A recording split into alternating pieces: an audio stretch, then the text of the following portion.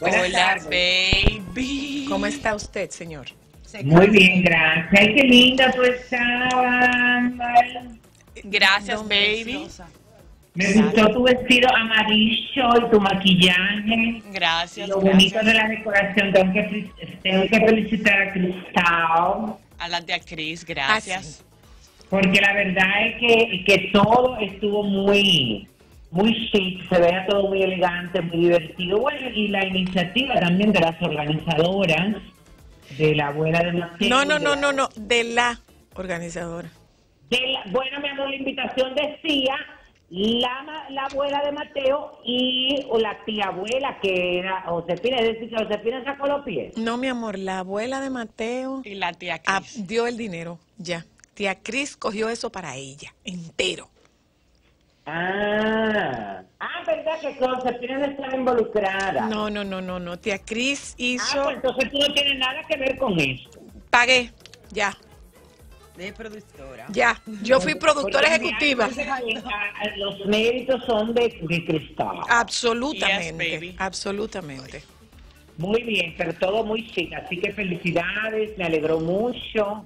Gracias, Gracias, baby. Vi muchos regalos, muy espléndida, muy acertada la lista de los invitados, porque al final eso es lo que uno busca.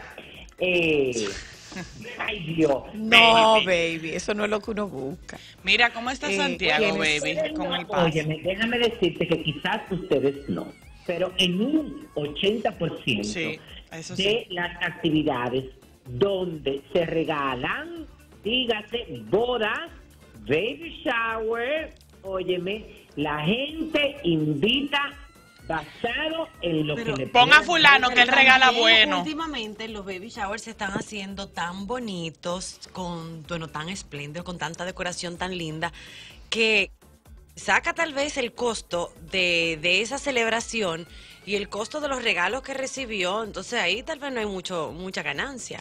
No. Sí, pero te voy a decir una cosa, pero al final, déjame decirte que eso se hace también. Oye, eso ha cambiado porque eso es una estrategia. En la sí. medida en que tú vas a un evento de donde están los detalles muy bien cuidados, donde hay buena comida, donde hay un cierto cuidado para hacerlo, en esa misma medida tú llevas el regalo. Sí, sí, es verdad. Pero eso que tú dices es cierto, porque yo conozco gente que hace lo que dice. Invita a fulano Invita a que él fulano. regala bueno. Invita a fulano que regala bueno. en sí, alguna ocasión yo leí, y no sé si es así, si alguien que, que sepa más de eso me puede corregir, de que supuestamente uno debe, y según la etiqueta, el regalo que uno lleve es eh, en base a cuánto tú le vas a costar a la persona en esa actividad. Negativo a la copia. No, el protocolo sí, indica que tú no todo- debes pedir. Todo el mundo tiene el mismo Yo no he dicho No, que pidan, pero no, estoy diciendo no, que no, pida no, no, nada. Pero no, no es pedir. se- la etiqueta lo que manda es que tú regalas lo que tú entiendes, no el costo que tú representas a quien te esté invitando. No, pero es no lo para- que yo he leído en cuanto a protocolo. Espera, espera, espera, espera. Ese es el protocolo de el que invita. El protocolo de la persona invitada es lo que está diciendo Linda. O sea que usted debe regalar proporcional a lo que costó la, la- la- a lo que le cuesta a usted por, in- por invitación. Vuelvo y te repito. No entendí, según lo que no yo he leído, O sea, sí, para ambas no, vías espérate. es lo que tú entiendas, no lo que tú costes. Claro, por supuesto que tú siempre vas a regalar lo que tú entiendas, lógico que tú vas a regalar lo que tú entiendas, pero si tú estás, por ejemplo, preocup- eh, eh, te pasa, por ejemplo, cuando tú tienes que dar una propina, que tú dices, bueno, ¿y cómo damos la propina? ¿En base a qué damos la propina? Eh, en Estados Unidos te sugieren una propina, por ejemplo. Aquí lo que te, te sugieren, bueno, tú estás un tanto, eh, tú estás un, po- un poco desorientada con relación a cómo vas a hacer el regalo, a qué, a qué, a qué cantidad de dinero eh, tú, de qué cantidad de dinero tú disponer para un regalo. Ajá. Bueno, pues esa es una buena Sí, medida. aquí lo estoy buscando y dicen que eh, puede ser, para, para tú llevarte de cuánto puede ser el monto, sobre todo en el caso de quienes van a hacer un, un- un regalo en efectivo, dice cubrir el valor del cubierto. Pero, ¿Y si no era con cubierto y era con la mano? Bueno, o sea... Lo que pasa es que Ah, en no, espérate. Europa... No, mi amor, entonces es más caro. Si era No, con la mano era más caro. Lo que pasa es que en Europa, según lo que yo he estudiado, hay algunos eventos donde la invitación te dice, tu asistencia cuesta tanto. y tú tienes la opción de asistir o no asistir. Si tú, asistes, Ajá. si tú asistes, tú cubres el costo del cubierto y se entiende que ya ese es tu regalo. Ah, mi amor, de ahora en adelante así serán los eventos míos No, que queden. eso. loca, Eso es en. Europa, aquí eso yo nunca lo he visto. Por más caro que sea el cubierto, óyeme, nunca eso va a llegar. Siempre hay un precio razonable. Yo voy a hacer así. eh. No, no, no, no. Bueno, nada, jóvenes, hablando de otras cosas. Francisco, ya poniéndonos un poco más serios y formales, ¿cómo estuvo la situación en Santiago?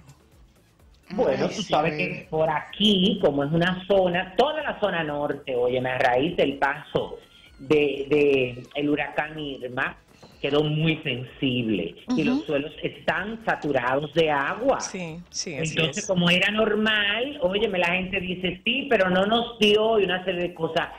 Eh, estamos hablando, yo vi ayer eh, un tuit de John Morales donde se calculó un promedio de 14 pulgadas de agua para la zona norte. Que ya estaba saturado.